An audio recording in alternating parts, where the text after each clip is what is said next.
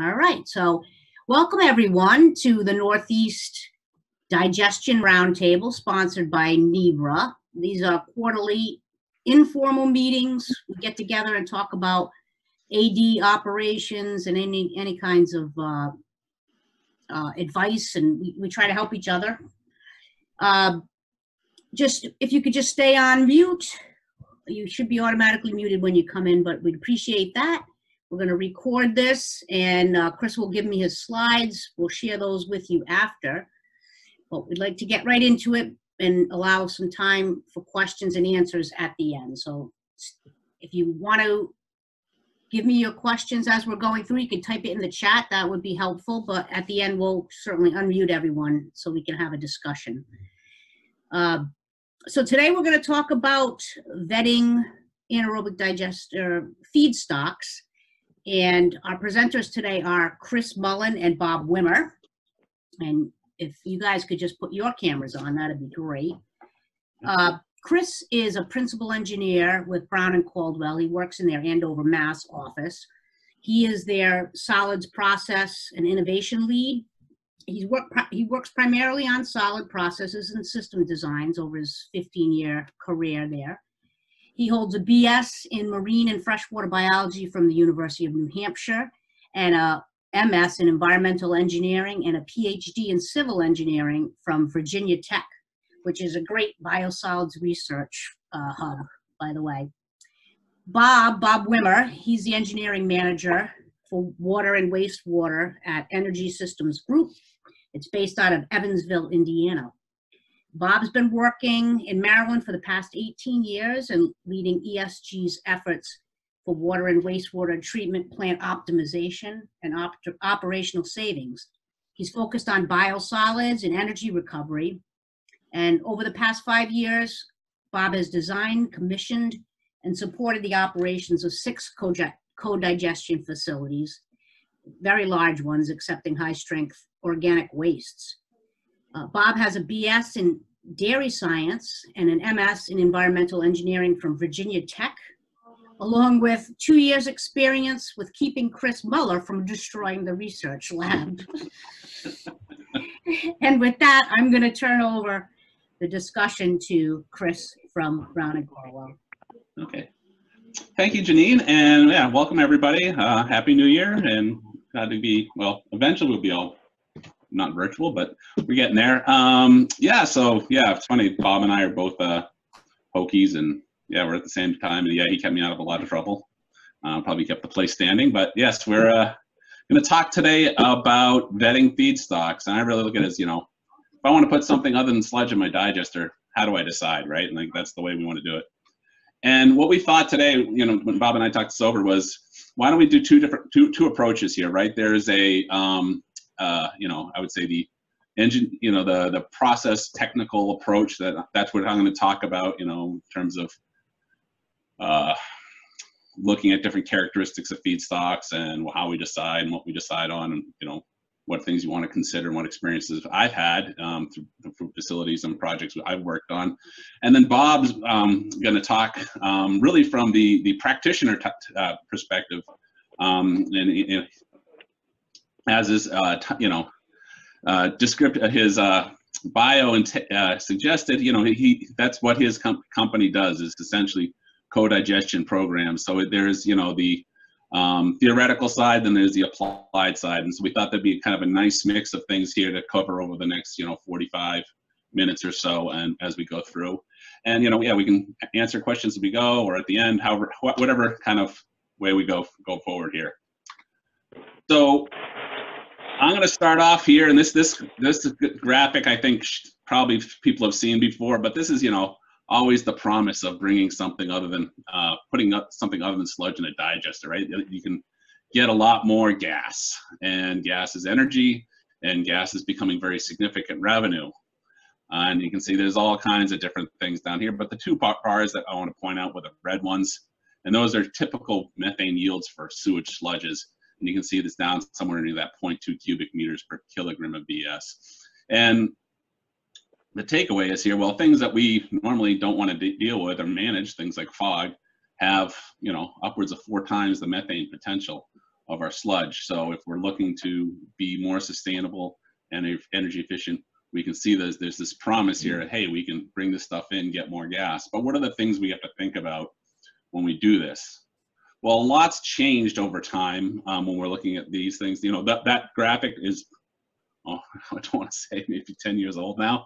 Um, but people are also looking at bringing in high strength wastes may have some ancillary benefits that we aren't necessarily always or haven't always taken a bit uh, into account. And this is some work that um, came out in two, 2015.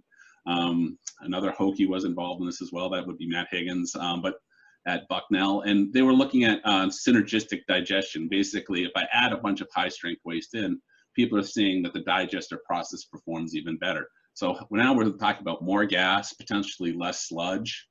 Um, and that this work showed that. Um, others have shown this is some work from Dan Zinneber uh, back in 2008.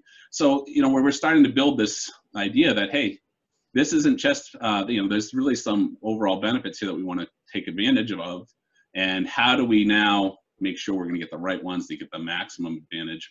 But then also, as Bob will talk about, what does that mean from a you know realistic or real project execution um, side of things? So when we when we look at co-digestion, really, you know, it, 10 years ago, we didn't have a lot of information. This is kind of about the time frame when this started to become a real common practice or started becoming a more common practice. And this substrate vetting piece ended up here on the front end and you know we would look at how much is out there and try to figure out what the best methane potential was. And then we start to think about all these other constraints and impacts throughout the process. And over time what we've seen is that one as facilities have run continuously more and more uh, and brought in different things we've learned a lot. So we can learn a lot from just you know a calling the, the, the plant down the road or across the country and saying you, you brought this stuff in and how did it work? You know, I think of an example that the plant pictured here is um, the Gresham, Oregon plant. And they've brought in fog and high strength waste all throughout the years. And one time we got involved with them, talking to them, and they wanted to check out bringing in um, cherry brine waste. And they thought, you know, they could get some uh, benefit out of it. And you think, well, yeah, there's some sugars in there and everything else, and you get some gas. It's a liquid, super easy to move around, pump around. Well, the high salt content made their digester very unhappy. Um, so it didn't take very much before we, we found out that, you know, that maybe wasn't such a great idea. So now that's on that list of, hey, got to think about that one before we, we do that. And also the universities, you know, you saw the work from uh, Matt Higgins' group there uh, earlier and Dr. Zinneber's group there. There's more information coming from universities now that are really kind of trying to start to refine some of these questions and, and give us better information. So it's not quite the black box we were 10 years ago, but we're still learning. And then there's, I would say, still, there's a ways to go, right? Because we don't have 20, 30, 40, 50, you know, 100 years of operations that we have for sludge digestion that we do for these these materials, but it's getting there. And so it's help, you know, I think as we go forward, this process will become easier and easier and more and more streamlined. But also as we move forward, the other things we've had to think about are other elements of the digestion process as we've intensified it. And that's essentially what we're doing is we're bringing in more feedstocks, creating more gas in that same volume. We're intensifying the process. Well, there's other factors that we now start to consider. You know, we have the work that was done talking about rapid volume expansion. And drastic shifts in biogas are one of those things that cause volume expansion events. So don't changes in viscosity. So how do these materials interact with the digester? Which ones are good at it, which ones are bad at it. Um, the availability of feedstocks, we're seeing more and more uh, municipalities moving towards organics diversion. So it's not always just, hey, we're going to take the liquid waste that comes from the food processors and fog, but maybe now there's, hey, there's, there's significant amounts of source separated food waste that are starting to come into the market. Do those make sense to bring in? What do I need to consider to do that? And how do they compare to other things? And how does it interact with our infrastructure? Um, uh, the changes in the biosolids management opportunities. Typically, when we, you know, the, the work earlier I meant, showed you earlier, means that, you know, yes, you can get um, more or less solids overall sometimes with digestion, but often when we're bringing more materials and we're handling more solids in the at the end than we were with just sludge alone. So how does the local biosolids market how does you know the, those management opportunities or lack thereof uh, impact the decision whether to bring or create more biosolids at the end by bringing in these materials. Um, the influence of these high strength wastes on your if you're doing a vehicle fuel, right? The RINs, the high value for the, the, the, the gas. Um, you know, a lot of these aren't considered, considered cellulosic wastes, so they do have an impact. And how will that play out eventually, hopefully, so that we can still take get the advantages from the sludge, but if we bring in fogs and things like that, how do we parse that and make make a good economic decision? And again, Bob will, Bob's got some experience with that, and so he'll be he'll be talking some more about that as well. And then you know PFAS and other CECs. Well, maybe not necessarily in the materials we're bringing in. They're attached to the biosolids, which these extra materials now are impacting. So it's it's getting to a bigger picture of how do I pick and choose what I'm going to do, um, which is I guess the kind of some of the fun part of, the, of this process. So you, you know it's really a mix right? We got to balance things out. We've got our process issues that we have to consider. We've got our market conditions and i'm i'll talk a little bit about that and then the economic conditions. And i'm going to leave a lot of that to bob because that's the work he's been doing. But you know you balance all of these items and you create your mix of feedstocks and how do i prioritize that mix to what i want to bring in so you know when i look at this from a perspective taking all the way back you know, what do you need to do when you're going to start to think about bringing in feedstocks and then also, you know, selecting the ones that you wanted uh, to to to, uh, to, to digest and co-digest. You've got a benchmark. You know, first of all, you got to know your facility, right? What are its limitations? Where is its capacities? Um, and um, and you know, where do you stand at, at at this point? And then I think the next step is then you define your project boundaries. Like what, what am I trying to do? Is it organics diversion, maximize biogas production, maximize revenue? How do those decisions or goals fit with my facility? And then when I perform my market sounding, how do those materials in my market meet those goals? And then you have to kind of, it's kind of a little bit of an iterative process, but you confirm it, and you go back and say, all right, does this make sense? Does this make sense? And then you can develop your your um, program that way. And and you know it, it can be, uh, and it, and some of these results can range. You know, it can range from, hey, I'm just going to open the doors and see what comes in, to I'm going to work with very specific callers, very specific producers to use my limited capacity to get the maximum benefit that I'm looking for. And so this is kind of you know a very general way of starting to think about how we're going to do this vetting process. But taking you know as an engineer and a biologist and you know a, a sludge nerd, I, I do like to look in the inside of the plant. And you know, and when we're starting to talk about that benchmarking side of things, it's you know, you know, where do I stand? What what what do I need to consider? And then these are all the things that we want to think about, right? Like we have to have considerations around the big two, right? Organic and hydraulic capacity. Do I have a room in my digester to put it in? Um, your heating system. Do I have uh, capacity to heat the stuff up? And sometimes these materials change. We were looking at some food waste addition at a um, at a plant, and what we one of the concerns we had was the existing heating system with the change in solids concentration changes in the heat transfer characteristics. And so, did we have the right capacity in the heat exchangers even to make make some of those changes? So some of this is very nuanced at times, and um, depending where you are on this understanding the system, you know, you can say, oh yeah, I'm not worried about that, or I need to consider some of these things. So everybody's a little bit going to be a little bit different.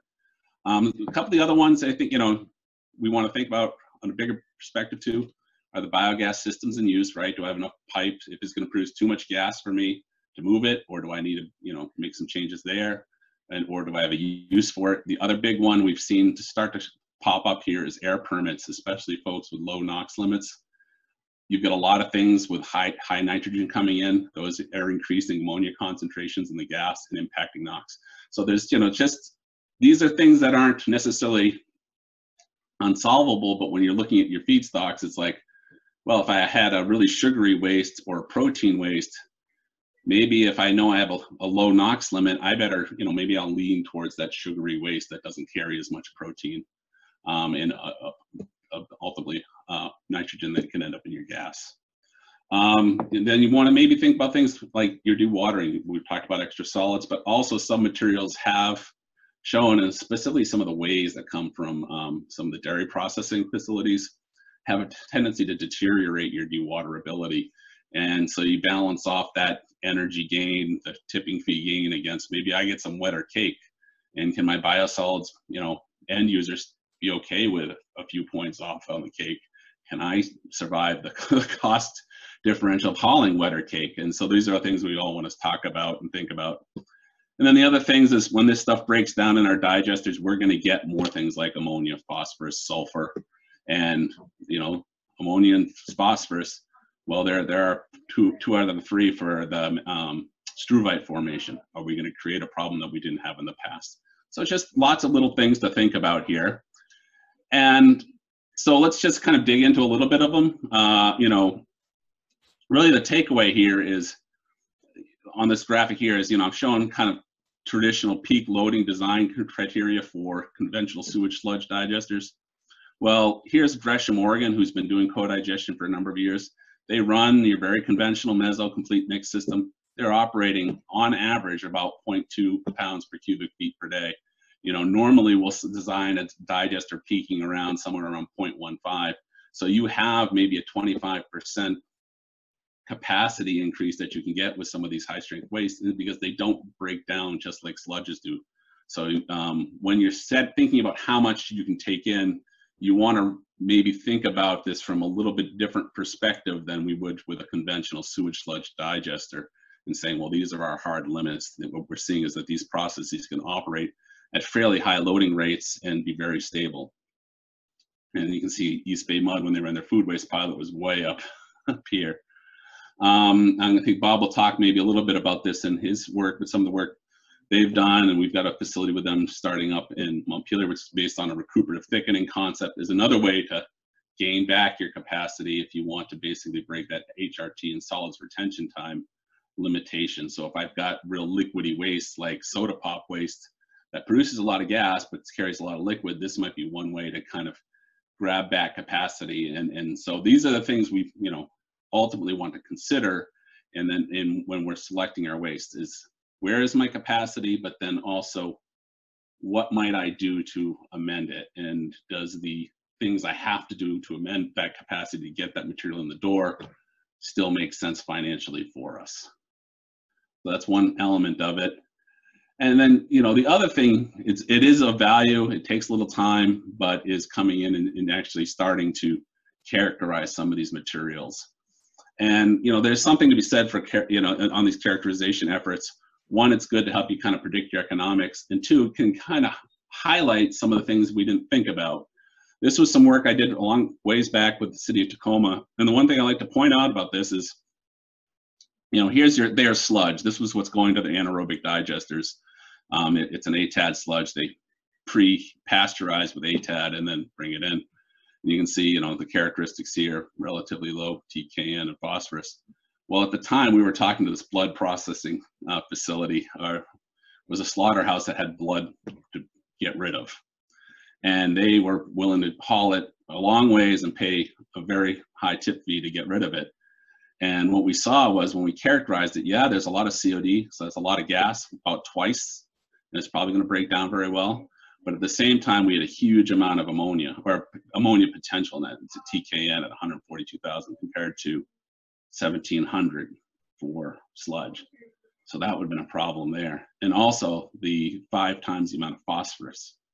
Um, so some of these things, you know, getting a good characterization of them can head off some of the, if, if you know, we're focused just on that COD and that gas potential, um, you can head off some of these uh, issues in the future or issues down the road that once you start accepting it um, you know, you, you, can save yourself a headache. In fact, at this level, we estimated that, and this plant's about a 25 MGD plant on average, that during their lower flow conditions, we would actually see effluent changes in their overall ammonia leaving the plant just from bringing this material in. Not also to say when we did the math, it was going to come out that this is going to be about um, that'd be enough ammonia to basically upset the digesters.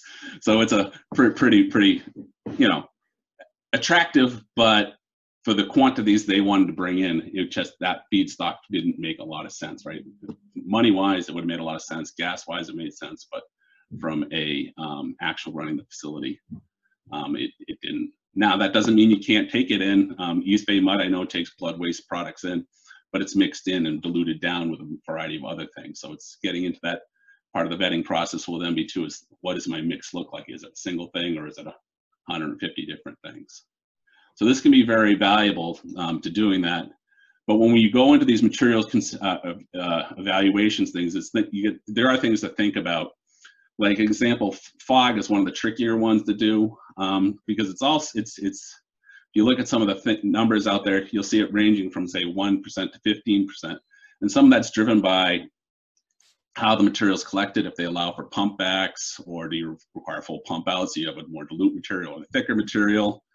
Um, how does that material um, behave? You know, if you put it in a truck, drive it around for most of the morning, it comes in, it's going to separate. Mm-hmm. And how are you then um, doing some of the work to composite that and catch it and get a good characterization? A couple of studies, one that HRSD did a, a few years ago, you know, they actually took the time, dumped it, dumped the entire contents out into a bigger tank, mixed it around and then sampled it to get a kind of a more average. And so if you, if you look at studies like that, the average somewhere comes down around in that four to five percent solids range. Just if you're interested, um, uh, rather than the one to fifteen percent. Um, another thing I've seen too is if you're going to take in materials from food processors, you know, and you're thinking about when uh, when I want to bring that is have a good discussion with them about what do they do throughout the year. Is it just one line and one product, or are you seeing multiple lines and multiple products coming throughout the year so that your waste that you're accepting may look like something in the spring, but when the fall comes around or winter comes around, and they're producing eggnog and everything else, then it looks a whole whole lot different and has different handling characteristics. So these are good discussions to have. One one facility I worked with, um, some of the you know they were seeing with some of their processes much higher phosphorus in the return material rather than um, at, during other times of the year. So getting you know a handle on that, whether you directly sample it or um, or you know just talk to the folks, uh, can be very helpful. Um, you know, this was another this picture down here to the right was another good example of one that was uh, a um, egg processing plant. And they're like, oh, we have all this egg waste, and we'd love to have you know have you guys come and take it. And we we showed up there, and I was like, well, I don't think that dirt filled lagoon is going to be quite what we want to pump out and handle, but it was was you know valuable in just seeing it as well. So. So other things to consider in vetting your feedstocks is how those feedstocks behave with your receiving facilities and your uh, and your existing um, digestion system. You know, if you don't have very effective mixing, things like fog can be more difficult. Um, I've talked to operators who've said that, you know, um, they get scum layers and fog layers that build up in their digesters and eventually fold over in and create these big blooms of gas that can cause problems. So if it's not well mixed, um, you know, things you might think about moving towards more um, soluble products like uh, soda pop waste and those types of things. Um, same thing for your um, receiving station. This is again surprising. This this is a fog facility, but this is the grit that accumulates at the bottom of the fog tank. Uh, once it heats up, there's a lot of grit bound up in that fog, and it kind of drops out and accumulates. So, how is that system mixed? How do you manage these types of things? If my, you know, your system's not quite designed to, to be hauling out that type of material, maybe it's a different product that you want to focus on. Um, so these are all kind of fall into that decision matrix. Um, as I mentioned, you know, the, the mixing impacts with the stratification.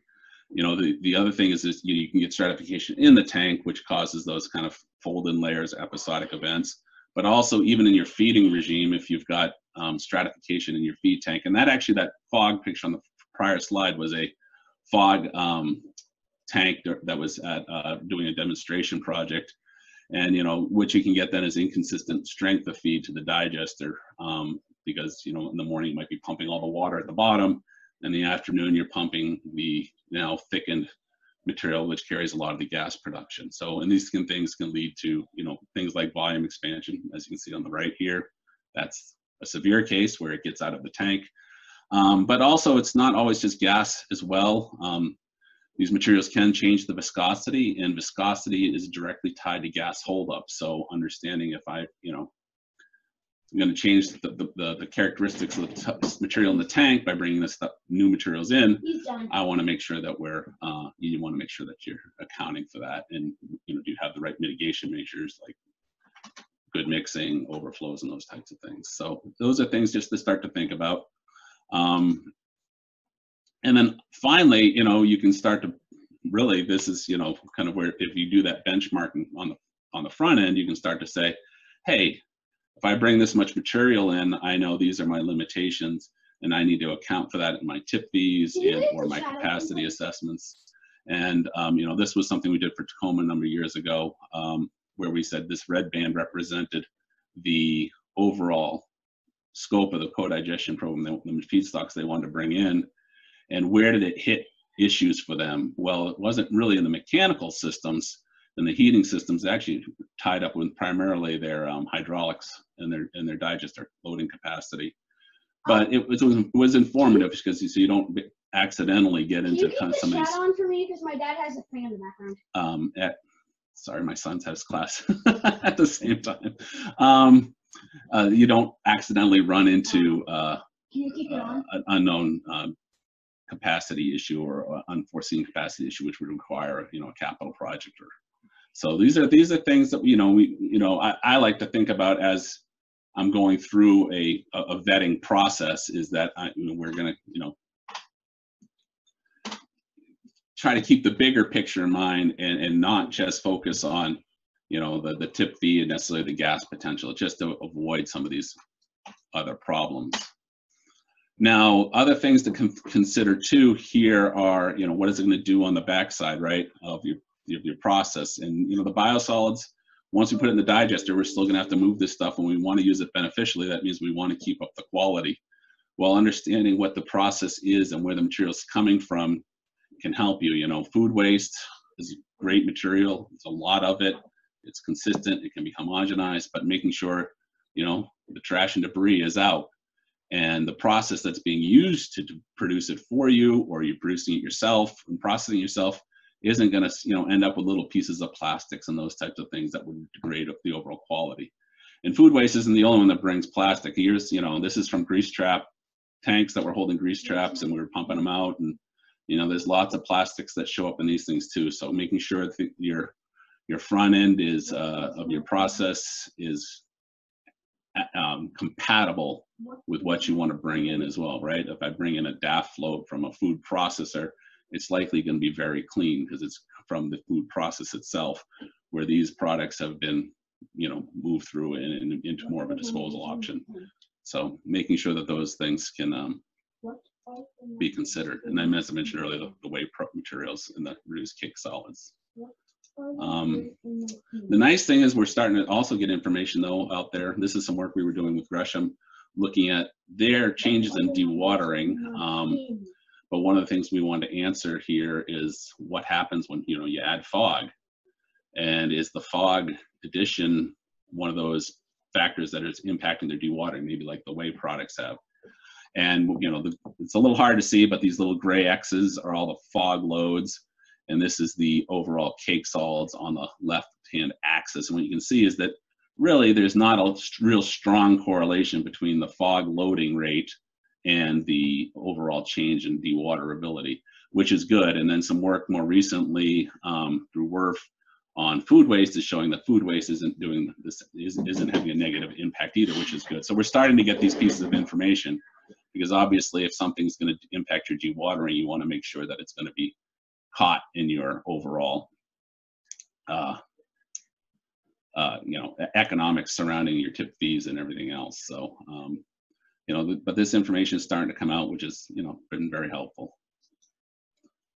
Um, as I mentioned earlier, you know, there's levels of pretreatment, and this gets into if I'm going to bring this material in, maybe what kind of receiving station I need to build, or is the receiving station I have sufficient? You know, I often say like if you can bring, it, if you can build a receiving station that will take grease trap waste, most likely can handle most other liquid waste or liquefied waste because grease traps are waste is pretty hard to manage. And in terms of levels of contamination and debris, you know, I said earlier, food waste, uh, food processing waste, bottling waste, those types of things. It's very low level. It's it's not a lot of material debris in there. You can handle it, you know, with a very simple system. And if that's all you were accepting, you get a very rudimentary tank and a pump type setup. You get into grease trap waste, you're gonna have to start thinking about heating because grease wants to stick to everything. Um, and then the, you know, how do I get these plastics out? And then there's a lot of rocks and debris. Um, those tanks are breaking down. And in fact, that fine grit that I showed you earlier is, was problematic at one facility in a, a pilot we were running. This is the stator from a grease tr- um, transfer pump, and this lasted seven weeks. Um, so again, if if if your facility's not matched up to that, either getting that stuff to settle out or getting it removed, you want to make sure you you know you take into account the, these potential impacts as well. Then obviously food waste, you know, out of, out of the truck is not compatible, but at the same time, it can be processed um, with the, the right facilities and or the right partner, right? Like, um, you know, there's a number of folks out there, waste management being one that comes right off the top of my head, who've, you know, are collecting and processing stuff and making stuff that looks basically like waste activated sludge. So just making sure, you know, what you're getting, where you're getting it from, and thinking about what facilities, if you've already got an existing one, what are those facilities going to manage these these problem pieces so, so that you can, uh, you know, you keep going forward. For me, because I don't, I don't really want my. so really, you know, I don't. as I said, so I've kind of covered on a high level here the, the process side, the mechanical side of things. I'll talk a little bit about our experience with market, and I'm going to leave the economic side to Bob because I think it's really more beneficial. To, um, you know, he's got a lot of insight from a, the operations side that I think will be of, of value for you all to hear. So quickly, you know, I'm going to talk, you know, why why would you want to do a market study? And you could do them yourselves. Um, you can hire folks to do them. Uh, you know, there's uh, the name's escaping me the company that there's one out there that now it does, you know, do market soundings for you. How much is out there, where it is, who is who has it, and you can get that material, you know, that information if you want to hire for that done, or you can do it yourself. But it's really, you know, it's really helpful in understanding what what that ha- it means um, for a program and for what you can potentially expect to get. Um, just as an example, you know, this was something we had done for St. Petersburg, looking at the movement of grease through their region. And, um, you know, what we're really looking at here is uh, polar greases. Those are your ones from uh, food processing. Your non-polars are the stuff that come off your car washes and everything in your oil change facilities, right? That's your uh, hydrocarbon-based ones. Well, if you've got, you know, grease trap waste, it can go a variety of different ways. What we wanted to end up here at the wastewater treatment plant. So what were we were thinking about, who are the local competition, other op, op, operations that might take it. Um, the residential grease, where is that going primarily? You know, Friends. generally everybody puts it in the landfill. Some people put it down the drain. Bad idea, but it happens. And so, you know, just thinking through when you're looking at a feedstock is how complex the competition is for that. And really f- for that, I'm going to skip right now, but the, the, the St. Petersburg, St. Petersburg, that was actually a big um, issue. What we found was that their market for brown grease, when we did the analysis, yeah, there were people hauling it and everything else, but there was one hauler who had their own process facility who basically had a majority of the market share and were processing materials from other haulers. And so really, you know, we ended up saying is, yeah, you could get some grease trap waste, um, but you might also want to consider other waste if you, you get the gas production up to where you want it to be, because really you, you're you're competing against a local existing business who's already got a, a good portion of the, the work uh, uh, material captured. So it was an interesting um, study what we did, did there. Um, you know, similarly, you know, y- y- these market soundings can also help you understand the competition, right? What we've seen in the east, in the Bay Area, where there's lots and lots of fog stations, well fog, and co-digestion programs. The the the prime the prime waste that everybody likes, the easy ones, are getting gobbled up and bid down, and and and everybody's you know very competitive for them. So you, know that also gets into into the long-term sustainability of the of the project. Now, here's another one that I, I like to bring up is one we did for Bellingham, Washington. They're um, north of Seattle, about an hour or so. And um, they they had an incinerator that wanted to put- put grease in there. When we did the market study, what we found was, yeah, there was grease out there, and yes, it was being collected. But when we talked to the haulers, they said basically they wouldn't use the facility. So we could build it and do the work and you know construct something, but it didn't fit within their business model. They had set up facilities um, closer down on the south side of Seattle, and that's how they were processing their material. And they wouldn't have used our facility. So um, it really that that project went from a hey let's build something to well how do we implement better management practices within the city to reduce the grease uh, overflows into the sewers rather than that. So sometimes these market studies will be very valuable, not only helping identify materials, but then really give me a sense of what's truly available and and some of the some of the things that aren't necessarily obvious from looking at you know who's on your pre-treatment list, who you know who the haulers are, how many trucks are moving around, and everything else. It's some it's very valuable to getting in and talking to these folks directly. So, you know, eh, eh, eh, really summing up the market side of things in in in, in the vetting process, you know, you you you want to collect things like data around volumes, spe- specifically pricing. I find it's a hit or miss, right? If you ask the question of how how much you want to pay to get rid of this, the answer you will get often is nothing, and that's not not the right answer. So it does take some work to to figure out some of those those elements. The practices I said those two examples were important. Um, you know, where where are they um, going with materials? Is it something they can divert from? Do they want to divert from? Uh, what types of services and access do you need? Some places are very, you know, um, line up, haul out, and move along. Uh, East Bay MUD, their facility has a little break room and restrooms for haulers to go to. So it's it's all it's all it's very different for the different facilities going. And the other big one is access. When when can you get it? You know, those are things when you're starting to think about the feedstocks is like how to when how do all these elements match up to your needs and what you want to do with your facility? Do you want to provide 24 hour access? Do you only want to have a small window of access available access during, you know, the eight to four realm? What does that mean for the availability of those feedstocks? In terms of doing these, um, really, you know, we I've been involved with all of the different approaches, whether it's in person, calling, surveys, and I will tell you, sending something out is the least effective way to do it. Um, it was very early on, but I'll be honest, uh, calling people directly, going to their facilities, meeting with them is going to be the quickest and best way to get the best information and to help you understand the availability of those feedstocks and the potential quantity that you would get. So with that, I'm going to stop. I mean, there was the one element there again on the on the economic side, but I, I wanted to turn the other part of this over to Bob because I think he's going to touch on that a lot better than um, and with a lot more uh, uh, firsthand experience to, to share, you know, with their facilities of how things turned out and what, you know, when you vet feedstocks and bring them in, what does it really mean? And and so with that, I will take a break. Thanks, Chris. You gonna click slides for me? I will click slides for you, sir. All right, fire away. Next one. So, thank Chris. Um, you know, as Chris mentioned, a lot of the feedstocks uh, that that he had gone through and some of that data are ones that uh, that ESG and myself have worked with uh, in a number of different places.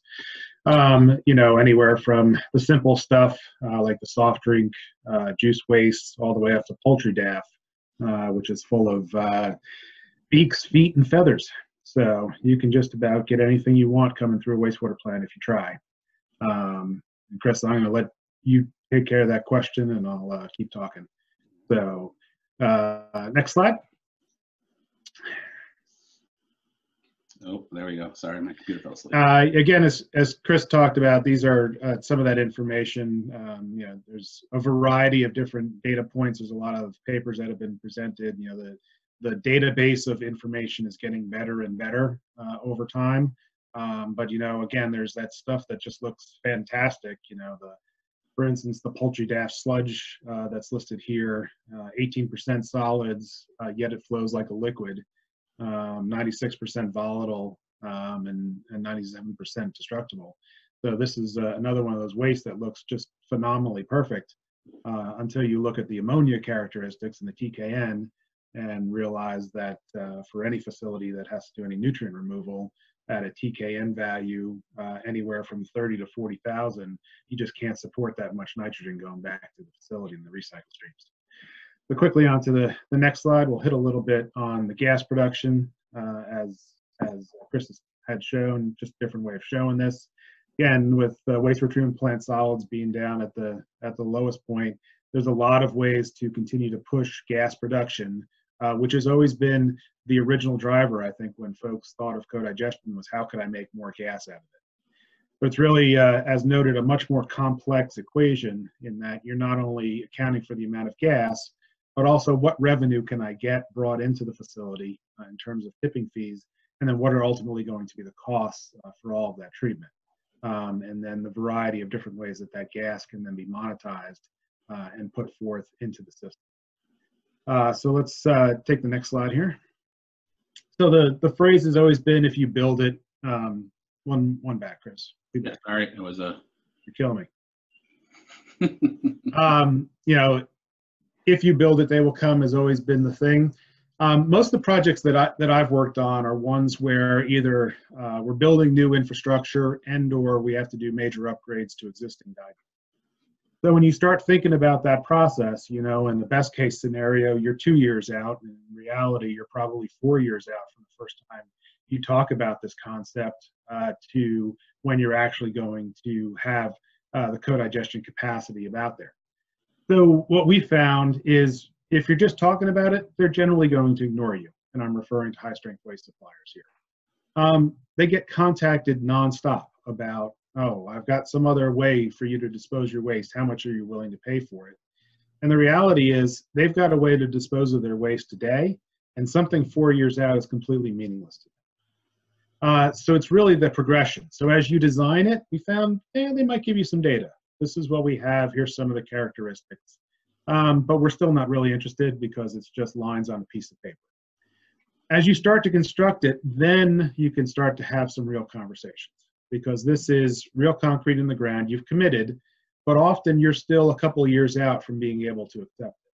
So this is really the important phase of making contact, letting them know what the system's going to be set up, what the options are, so they can start thinking about alternatives and planning. Unfortunately, in some cases, you may be uh, giving them the opportunity to really hammer their current supplier or current hauler and say, I got another alternative coming soon, so I better get a cut. But in some cases, uh, it gives them the opportunity to think about what they're really spending and is there a better way to approach it. And then finally, when it operates, you know, they may consider coming. Because the worst thing that any uh, food waste producer can do is have an upset in how their system is operating. Their job is to make whatever that food product may be uh, juice, soda, milk, whatever it is. Getting rid of the waste is an operational consideration.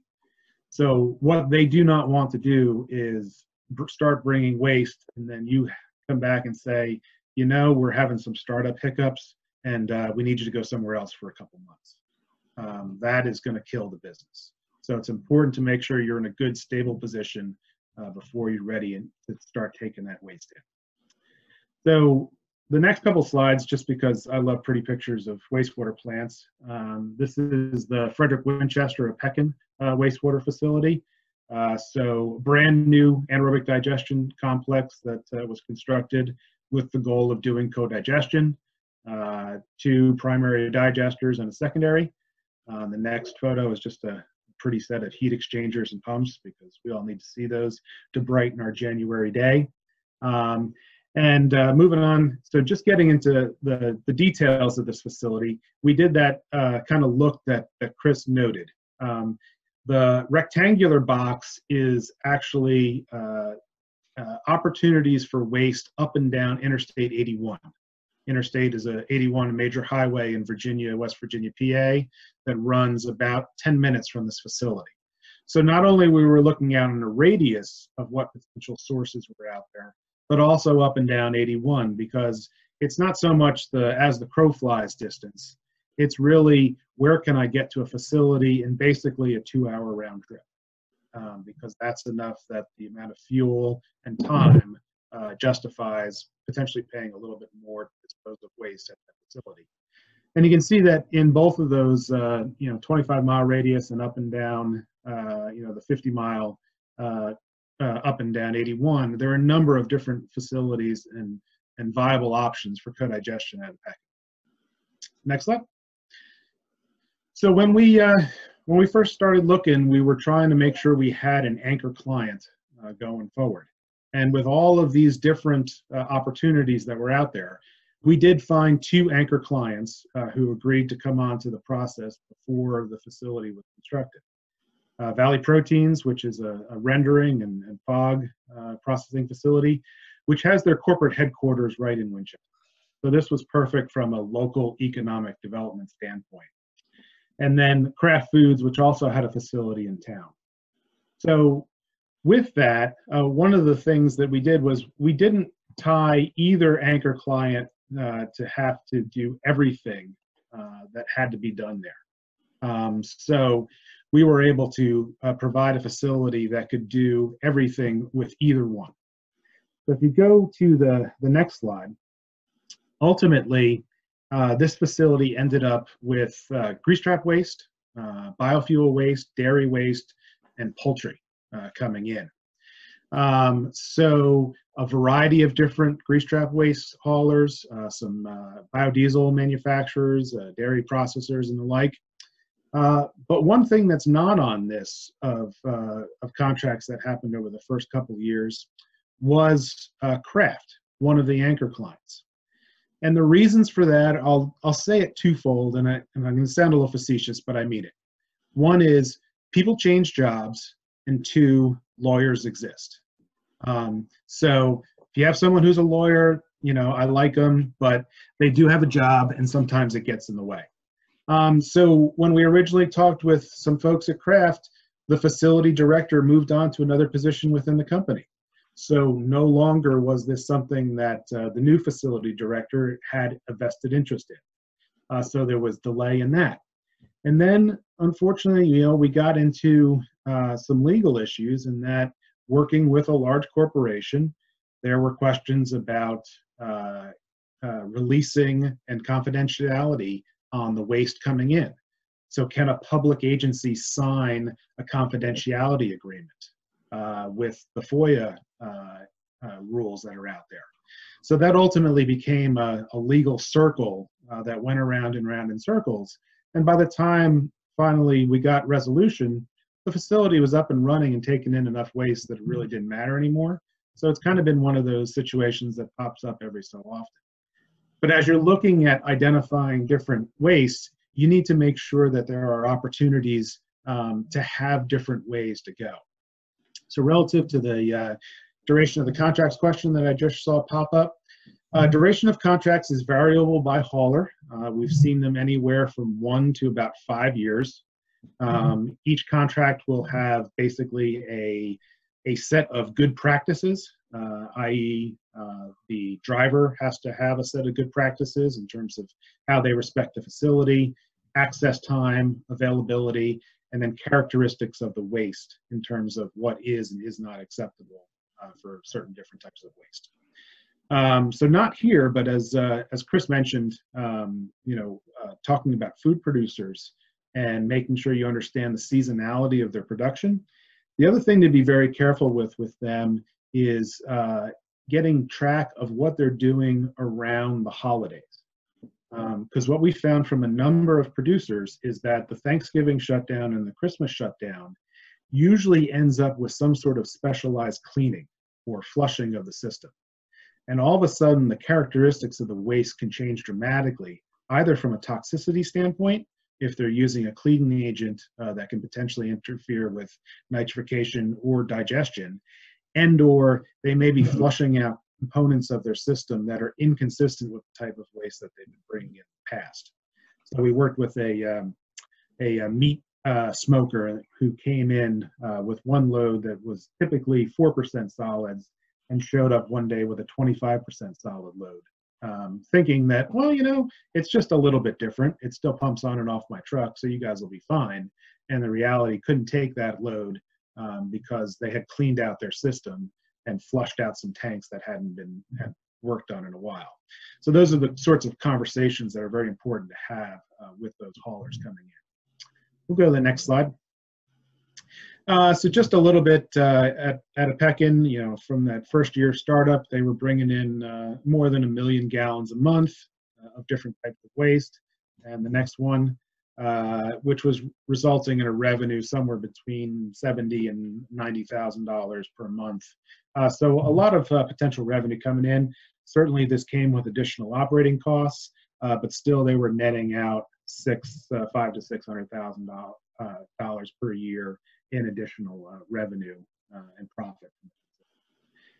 All right, so uh, let's get down to uh, just a quick summary of that in terms of, you know, if you build it, you know, plan early. The market is variable. You can't have certainty. So you can ask for it all you want, uh, but we're getting into business. Um, so you have to just plan for variability. Very important to understand that you need the material. It doesn't matter necessarily who brings it. So find out who is the controlling source. Sometimes it's that the haulers uh, have a long-term contract for the material, and it may be the hauler that wants different. It's not necessarily the facility itself. Um, as uh, Chris noted, uh, sometimes the limiting factor is HRT and SRT. Sometimes it's the amount of solids you can process or the amount of land that you have available for uh, land out. So you got to figure out what that is. And this is not for everybody. This is a business. So if you want to think that this is just normal operation, it's not. Uh, you've got customers that you got to take care of. You got variabilities, um, and you need to have that business-minded mindset to to go through it. So I'm going to switch uh, gears a little bit for this next uh, talk, uh, next piece, and that's uh, getting the right tools. Uh, so Chris talked a little bit about removing debris from, from grease trap waste. Uh, so this is some of the debris coming out of the grease trap waste there. You know, we got rags and straws and all sorts of various pieces of, of stuff that come in.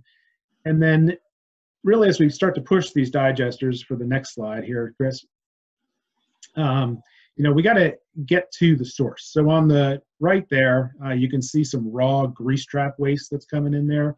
You know, lots of uh, lots of fog and and uh, grease and and material that you really wouldn't want to uh, put in there. I'll take another click. So, you know, I've, I've heard a lot of different people say, you know, you put more than 30% fog into it um, or something else or come up with all these different numbers, you know, a digester's going to fail. You just click through the next couple bullet points here. And just remember that a lot of these are pilot and bench scale testing that was done. You know, I survived getting my master's. You know, I survived watching Chris get his master's and then uh, have fun with his uh, PhD. So I am all for abusing grad students. Um, you know, it's that that fun piece of I've done it, so someone else should have to go through it.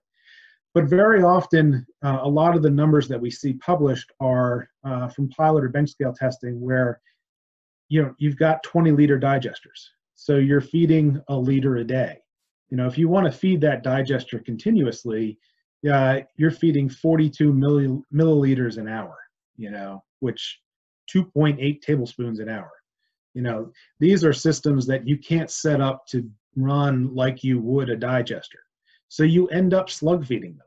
Sometimes you end up feeding them once a day. Sometimes it's every other day. Uh, some of the, if you go back and trace uh, that 30% number, that's a digester that is fed every other day. So when you do the instantaneous loading on what that digester was fed, it's an amazing amount of material that went into it uh, in a slug load, which we would never do in a digester. So make sure as you see these numbers, go and figure out what the true source and how the digester was fed, because these things are much more robust. We can push digesters to 200, 250, 400 pounds of loading. Um, we know we can do it, provided we do it well. Go on to the next slide. Um, part of that is mixing at the right point. So that's raw fog waste on the side. If you put in a high energy mixing with that and, and TWAS, that is mixed TWAS uh, with all of that fog in there. You can get a very nice homogeneous feed that digesters love. Next one. And then, you know, finally, just to sum that up, you know, feed a digester slowly and consistently. Feed it all as much as you can. Uh, get a nice wide spot uh, before and after, and you can do a lot of these digesters with these digesters. So uh, run a little bit short on time, but I'm going to hit real quick on uh, one more uh, thing that Chris had mentioned, which is how do you take a program like this and deal with other needs that you have at the facility? So let's go on to Beckley. Um, so this is Beckley, West Virginia. Uh, next one. Uh, the problem at Beckley is with, with many small communities, uh, population growth is non-existent. Um, so, you know, there's just nothing to support uh, the infrastructure that exists. Next one. Uh, just real quick, you know, they've they've seen almost no change in their amount of sewer fees coming in. Um, uh, so over time, so there's a, a challenge, and I've got old infrastructure. We've seen this at a number of different facilities. You can go to the next slide there, there, Chris. Um, you know, these are, are plants where operators are doing absolutely everything they can to hold together equipment, but there's just hasn't been an investment in it over time. So you get old pumps, you get old material. You can go to the, the filter press. So, you know, this is a, a 25, 30 year old press that uh, they're doing everything they can to hold it together, but there just hasn't been an investment. So when we go through these projects, and you go to the next one, Chris. Um, so when we looked at this facility, they needed about $11 million of investment in core infrastructure. So this was digester covers, heat exchangers, mixing pumps, mixing, dewatering, UV system, aeration, uh, grit removal, and some miscellaneous upgrades to the facility. So that's what they had to do. So when we worked with them, we said, you know, if you spent another $2 million, you could add in the components of the facility that would allow you to do co-digestion. So this is the receiving station, some site civil improvements to allow trucks to get in and out, uh, upsizing the gas system, uh, putting in a, a, a, wide spot after digestion so that you could have two primary digesters running at once, um, along with some other miscellaneous improvements. So that made the total project about $13 million. So in terms of bringing and offsetting that, ESG brought a guarantee to the table that said you would get over 15 years about $6 million in co-digestion revenue, uh, netted out uh, from the other operating costs, additional biosolids and, and, the like, with a potential uh, to bring in another four and a half million if you fully maxed out the capacity of the digesters. So when you add all of that together, um, you've got $11 million of core infrastructure that you have to improve the potential to net on the upside eight and a half million dollars. So all of a sudden, you have the potential to do a project where you got $11 million of your capital investment done for basically two and a half million dollars of real money. So this is a way for facilities to take the core infrastructure that they have, which is really the concrete in the ground, and how do you upgrade that with the mechanical equipment uh, that is at the end of its useful life? the work's got to be done anyway. So if you want to spend $11 million and not get anything to offset it, go ahead. I don't know where you're going to find the money, uh, but you got to do it anyway. So this is an opportunity to do that without burdening your ratepayers uh, with additional uh, fees. So from that, uh, we'll show some pretty pictures of what it looks like after the fact. Um, so brand new belt filter presses, uh, new pumps, all looking nice and pretty. And uh, you know, the next one is uh, you know new covers, new mixers, so forth and so on. And basically, uh, for the the cost of running a co-digestion uh, facility, you end up with all this uh, new equipment. So with that, you know, no one can tell you they can tap, but you really can. Um, but it's not free. You do have to invest money in it, um, and ultimately, uh, you can get to a, a solution. So I'm right at one o'clock. I don't know how far we can go over, Janine.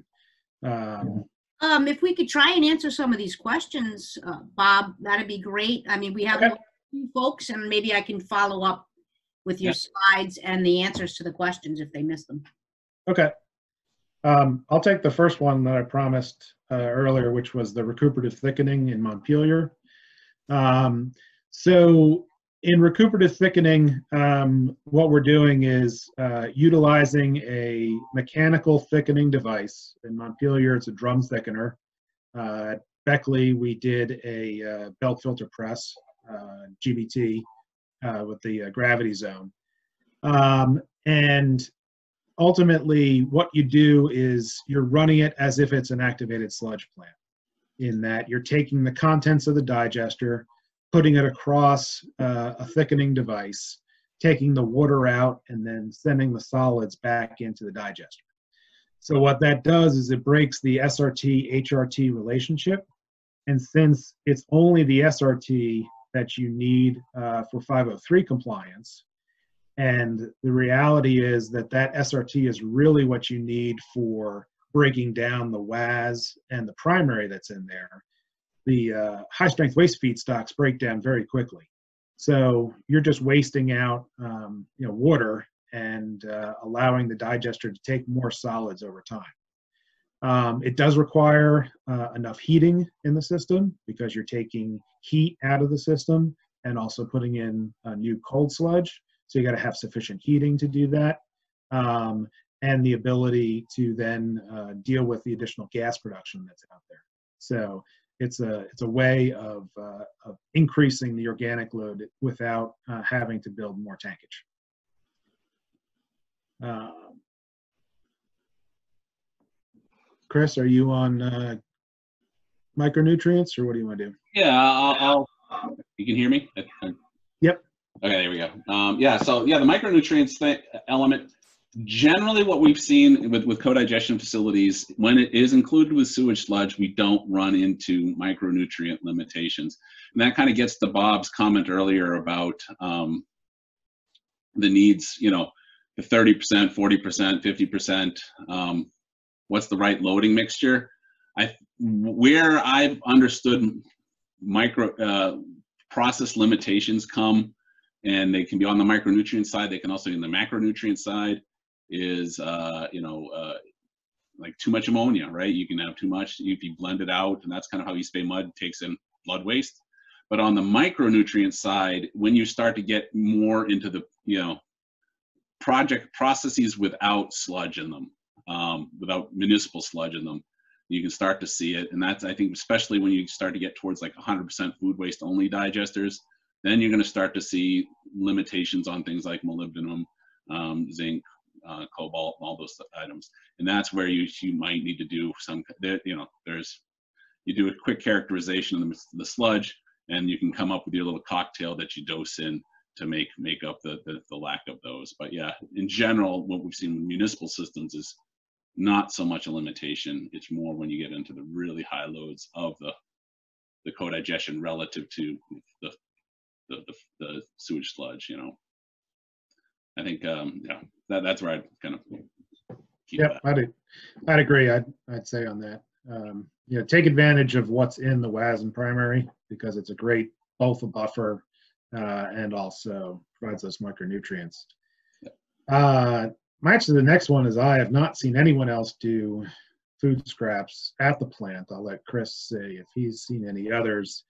Uh, the one thing as we've as it's come up as a concept, um, the biggest limitation that I have seen is that it becomes a separate permitting issue in that now you are a solid waste processing facility.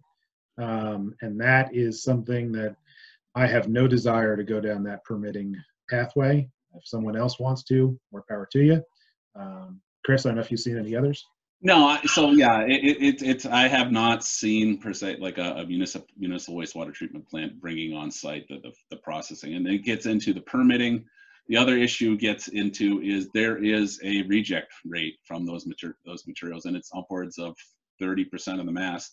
And you still have to deal with those rejects. And so, um, you know, like when, when I, some work on it, when we were doing with the city of Tacoma, there was talk of that one of the operators about had a heart attack when he said, well, they, you know, somebody wants to bring trash to the plant and then process it. I'm like, well, no, no, no. And it, because it, it, there is a backhaul side of it. So, you know, it, having it done at a transfer station, having it done off-site by somebody who, who manages that, it does make sense because they have the outlets for that and they can bring you something that looks like um, waste act, really thick waste activated sludge. I mean, that, that that's where, when, I was doing the work with Tacoma, that's what we found was that that was the right setup. Um, and you can figure out the water needs pretty, pretty quickly. Wastewater plants have no shortage of water and you can backhaul the, take a tank back if you need to, so. And there's also a lot of, you know, odors to can think about too. Yep. So a couple of these, um, I think are generally co- uh, just comments. Um, Yeah, so, you you know, answered the the- contract question already. yeah, I got the contract.